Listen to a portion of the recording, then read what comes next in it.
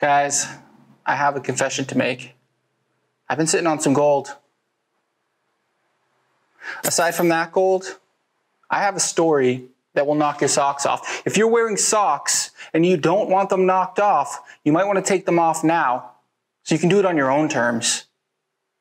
But today's version of Corey's stories is not going to be a reenactment. No, ladies and gentlemen, I have the actual footage. You're going to see it just as I saw it that day. So please strap in and get ready for a ride. Corey the Pawn Guy. Corey the Pawn Guy.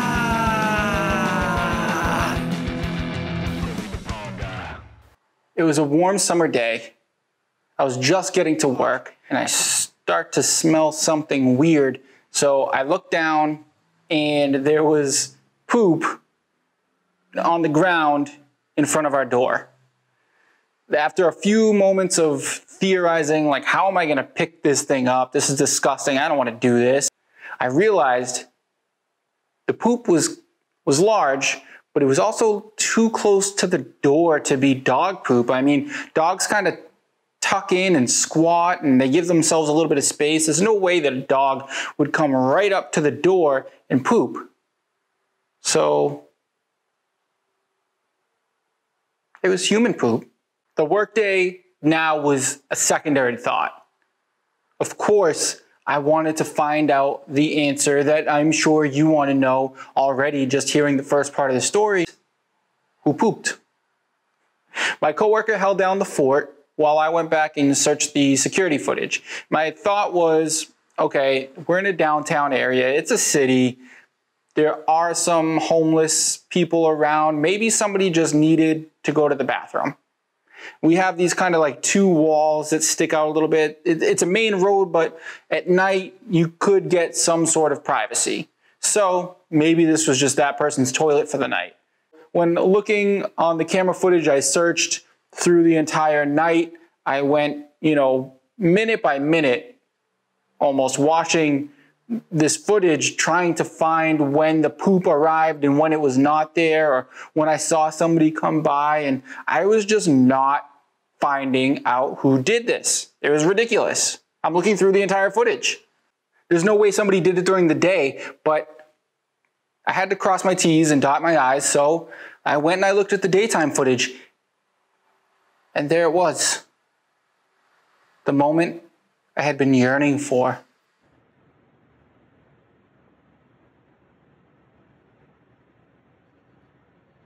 Let me just put this down. Put this down. Whew, these are heavy.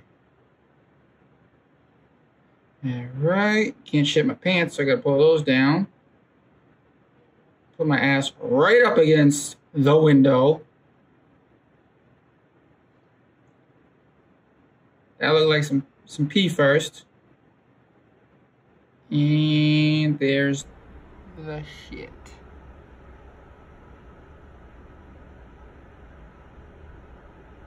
Get it all out. Even brought something to wipe with. Throw that on the ground. Thank God that wasn't there when we got there. What? It's who is it? I don't know. Oh my god, it's clear. It's the lady. It's the it's the bearded lady.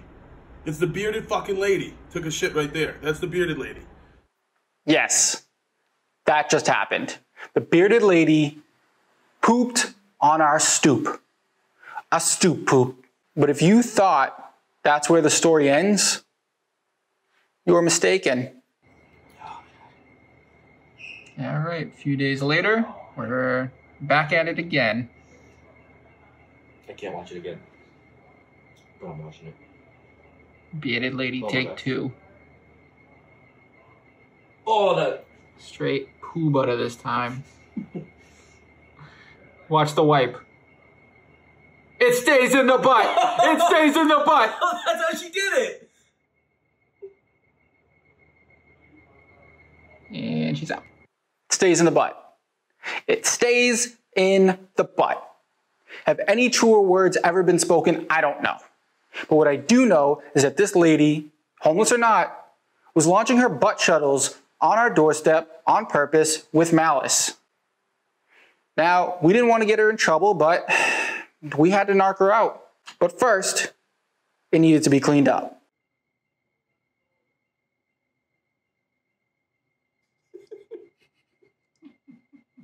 Nope.